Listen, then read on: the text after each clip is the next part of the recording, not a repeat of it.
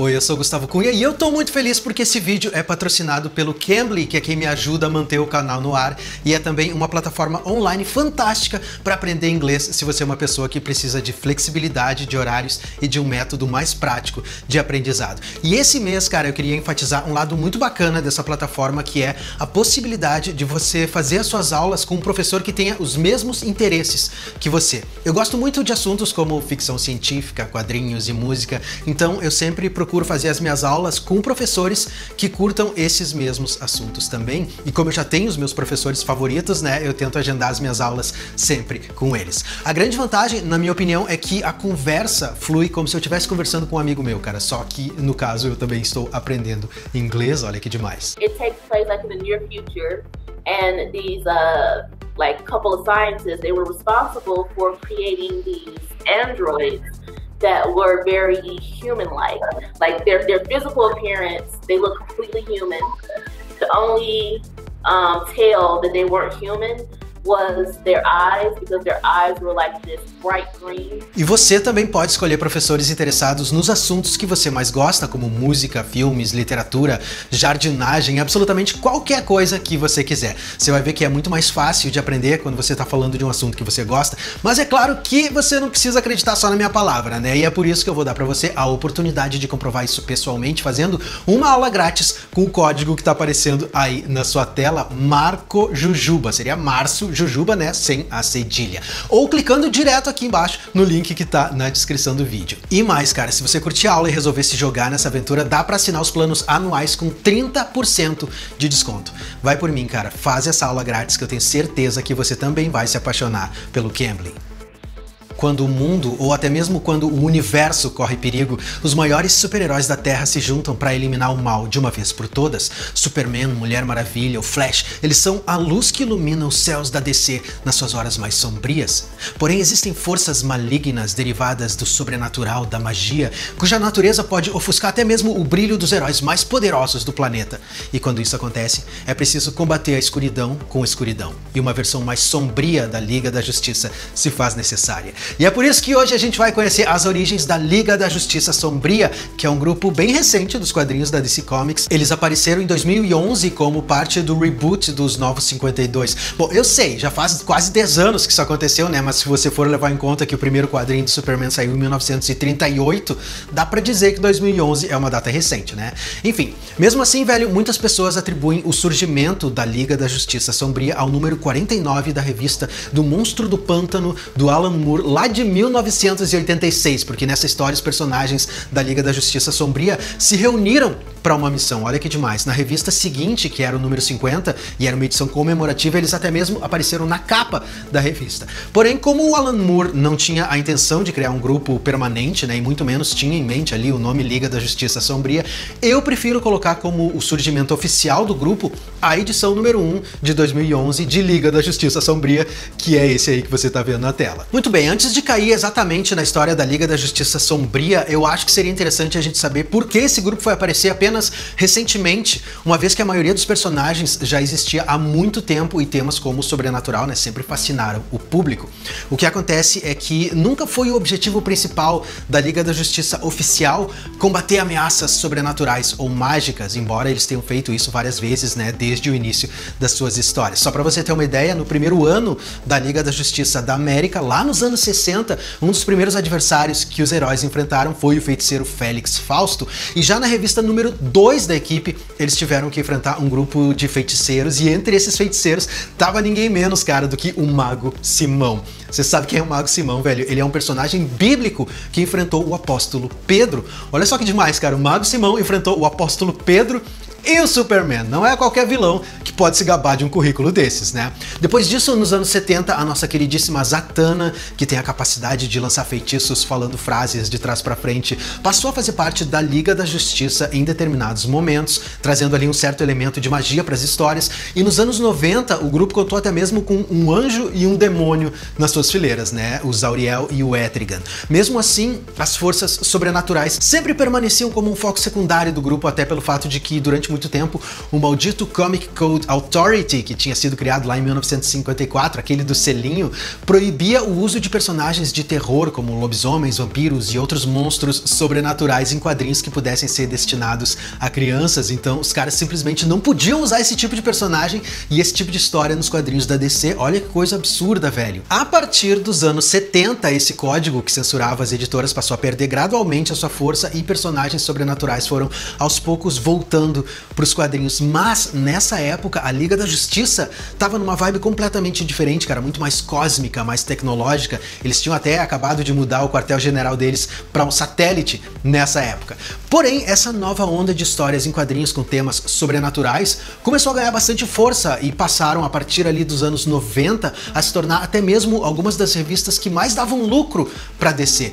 Então, essa seria a hora perfeita, né, para lançar um time de super-heróis que tivesse como linha de atuação principal o sobrenatural, certo? A DC lançou até mesmo aquela trilogia do Batman e do Drácula, que tem aquele quadrinho que nós até mesmo já falamos num vídeo aqui no canal, né, que se chama Chuva Rubra, no qual o Cavaleiro das Trevas enfrenta o Conde Drácula e chega até mesmo a se tornar um vampiro. Essa trilogia fez muito sucesso lá nos anos 90, com a primeira parte lançada em 91, a segunda em 94 e a terceira em 1998. Pois é. Mas mesmo assim, velho, o tema do sobrenatural natural parecia ainda não encontrar uma forma de entrar efetivamente na linha principal ali do universo dos heróis da DC. A própria trilogia do Batman que eu acabei de citar era uma série Elseworlds, né? Fazia parte de uma outra continuidade, não da continuidade principal. Era como se depois de todo aquele tempo tendo que se autocensurar, os caras simplesmente tivessem receio de abrir a porteira, né, do sobrenatural para a continuidade principal da DC. Tanto é que os caras criaram até mesmo uma estratégia para poderem lançar mais quadrinhos com temas sobrenaturais de uma forma totalmente separada. Eles lançaram o selo Vértigo, que na prática era completamente separado da linha de super-heróis da editora, né? Ele era direcionado a um público bem mais adulto e nos primeiros anos servia unicamente para fazer bombar ali os quadrinhos de horror e fantasia da DC. E eles realmente bombaram, né? Saiu o Monstro do Pântano, Sandman, mais um monte de outras coisas muito bacanas. Quando chegaram os quadrinhos como os quadrinhos do Preacher, que eram um soco no estômago falando de um deus que abandonou o céu e de anjos conjurando assassinos, a linha que separava as histórias de horror e de sobrenatural das histórias de super-heróis se tornou um muro, né, velho? Praticamente intransponível para descer. Um muro que eles próprios tinham criado. Simplesmente não tinha como os caras juntarem personagens tão violentos, tão dúbios com a linha de frente de personagens como Flash, por exemplo. Mas, independentemente de tudo isso, criaturas como demônios, vampiros, feiticeiros, bruxas e todos os outros tipos de monstros saídos de contos de horror e de histórias de magia continuavam a aparecer frequentemente no universo dos heróis da DC Comics. E por isso, em 2011, quando a empresa colocou na roda mais um reboot do seu universo dos quadrinhos, né, dando início à era dos 952, eles resolveram colocar definitivamente aquele muro entre os personagens da Vertigo e da DC abaixo, né, com a chegada da Liga da Justiça Sombria, um grupo de especialistas no sobrenatural que inclui feiticeiros, espíritos da floresta, almas desencarnadas e até mesmo, num momento mais recente, uma das personagens principais de todo o universo da DC, a Mulher Maravilha. E é justamente aí que nós chegamos para a edição número 1 de Liga da Justiça Sombria de 2011, que mostra a primeira versão dessa equipe que conta com a Madame Xanadu, uma mística e cartomante capaz de ver os movimentos do futuro e que é nada menos do que a reencarnação da Dama do Lago, a personagem clássica da história do Rei Arthur, e ela também é a pessoa quem monta esse primeiro time da Liga da Justiça Sombria. Nós temos o adorado John Constantine, um estudioso de magia, ocultismo e demonologia, que é uma figura extremamente controversa, ele é cínico, individualista, mas também é um grande detetive e um poderoso aliado ali contra as forças das trevas. Durante um tempo, ele inclusive foi o líder da Liga da Justiça Sombria.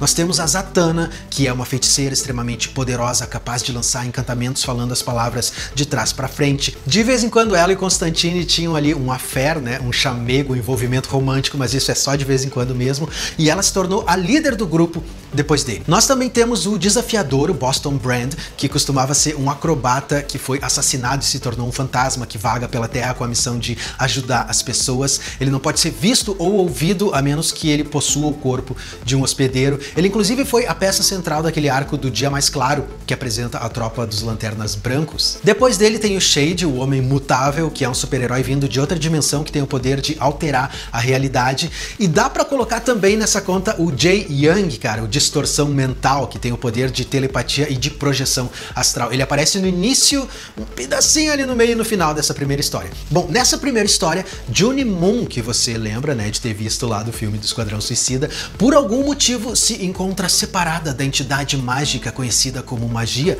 Infelizmente, nenhuma das duas está lidando muito bem com essa separação, né? Enquanto a Juni Moon se transformou em 34 cópias desmemoriadas de si própria, a magia ficou completamente fora da casa, velho, e passou a usar os seus poderes para bagunçar com a realidade, enquanto ela busca ali uma forma de se unir novamente com a sua hospedeira. Só para você ter uma ideia, velho, por conta da loucura dela, acontece uma chuva de livros escritos em uma língua morta numa pequena cidade do interior que mata seis pessoas. Em duas fazendas próximas, as vacas dão à luz moedores de carne e uma estação de energia das proximidades ganha consciência e ameaça explodir porque ficou entediada. Quem nunca, né? Isso são só alguns exemplos. Ao longo de todos os Estados Unidos, a contagem de corpos só aumenta. É claro que isso é um trabalho para a Liga da Justiça, né? O grande lance é que Superman, Mulher Maravilha e o Cyborg partem para enfrentar a magia e levam a maior surra da vida deles. Sério, velho, eles não dão nem pra saída contra a magia. Agora me diz, cara, o que é que você faz quando a própria Liga da Justiça é incapaz de lidar com uma ameaça?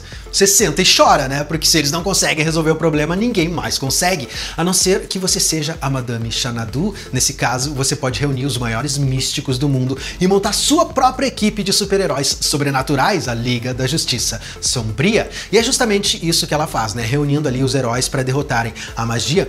Mas é claro que não é só porque eles são especialistas em sobrenatural que isso passa a ser uma tarefa fácil, né? Na tentativa de parar a bruxa, Zatanna e Constantine passam a trabalhar juntos, lançando feitiços, encantamentos. Uma vez que a magia está procurando a sua hospedeira, Juni Moon, o desafiador parte para tentar proteger a moça. Porém, infelizmente, as coisas não vão muito bem quando um portal de teletransporte aberto pelo Homem Imutável, que deveria transportar os dois para um lugar seguro, transporta apenas o Boston Brand e deixa a Juni para trás completamente à mercê da bruxa. As surpresas não param por aí, porque nesse meio tempo John Constantine, que é um detetive muito astuto, descobre que a pessoa responsável por separar Johnny Moon da magia foi a própria Madame Xanadu, a pessoa quem reuniu os heróis em primeiro lugar. Segundo ela, o intuito era de ajudar, mas isso acabou deixando a bruxa magia completamente ensandecida, e quanto mais ensandecida ela ficava, mais poderosa ela se tornava. O grande lance é que não havia nenhuma forma de parar a bruxa, porque ela estava poderosa demais e fora de controle demais, como uma última última medida desesperada, o Constantine lança um encantamento que reúne mais uma vez a Juni Moon e a bruxa no mesmo corpo. É claro que essa não é a solução mais adequada, né? Mas é a única solução possível.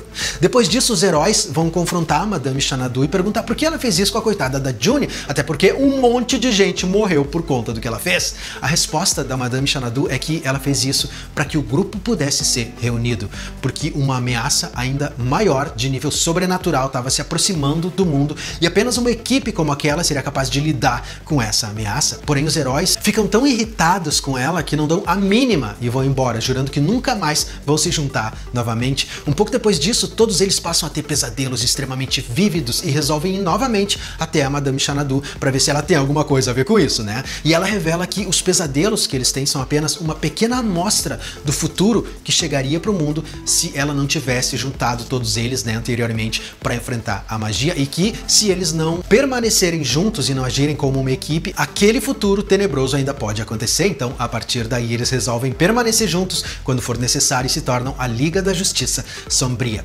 Essa foi a primeira formação desse grupo, mas ao longo dos anos eles foram tendo uma rotatividade bem grande, cara. A última formação de 2018 tem no comando dessa trupe ninguém menos do que a Diana Prince, a Mulher Maravilha, que mudou o quartel-general do grupo para uma instalação que fica meia milha abaixo da sala de justiça. Olha que demais, cara. Dá para dizer que a chegada da Mulher Maravilha pro comando da Liga da Justiça Sombria foi a última marretada, né, naquela muralha que separava os personagens da linha Vértigo do mundo dos heróis da DC. Com a chegada dela, tá mais do que sacramentada a união da linha do terror, do horror, dos quadrinhos com a linha dos heróis clássicos da editora. E velho, quer saber que surjam muitos outros como eles. E já que nós estamos falando de histórias de origem, eu vou aproveitar e deixar aqui para você a história de origem de um cara que é simplesmente um dos heróis mais fantásticos dos quadrinhos. O meu favorito, cara, o morcego de Gotham. Clica aí e já engata no vídeo que eu tenho certeza que você vai curtir demais a história de origem dele, velho. Então tá, cara, uma vez mais, muito obrigado e até a próxima.